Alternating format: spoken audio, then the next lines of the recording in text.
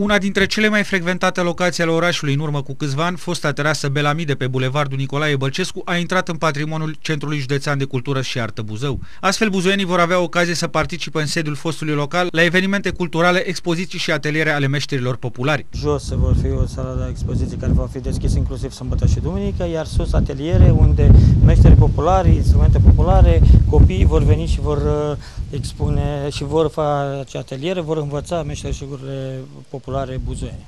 Evenimentele vor fi organizate de Centrul Județean de Cultură și Artă Buzău. Prima expoziție tematică este programată în luna octombrie, în cadrul căreia vor fi prezentate costume populare realizate de meșteri din tot județul.